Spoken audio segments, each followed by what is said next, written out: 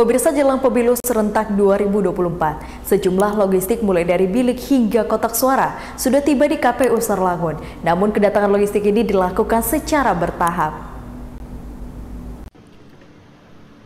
Menjelang pemilu serentak 2024, baik Pilpres maupun Pileg, sejumlah logistik pemilu sudah tiba di KPU Sarlangun.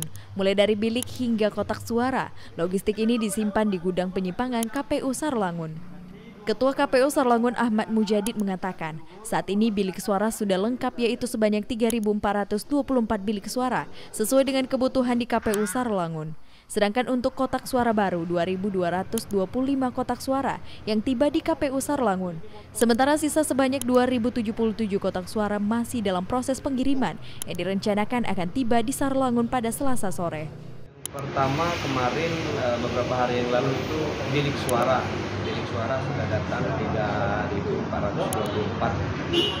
bilik suara jumlah ya secara satuan. Selanjutnya kemarin di hari Senin kita juga menerima kotak suara.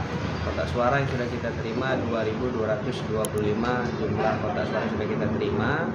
Uh, yang belum kita terima untuk logistik lainnya seperti tinta dan segel plastik nantinya akan didatangkan secara bertahap, di mana pada bulan Desember mendatang adalah batas terakhir pendistribusian logistik ke KPU yaitu logistik surat suara.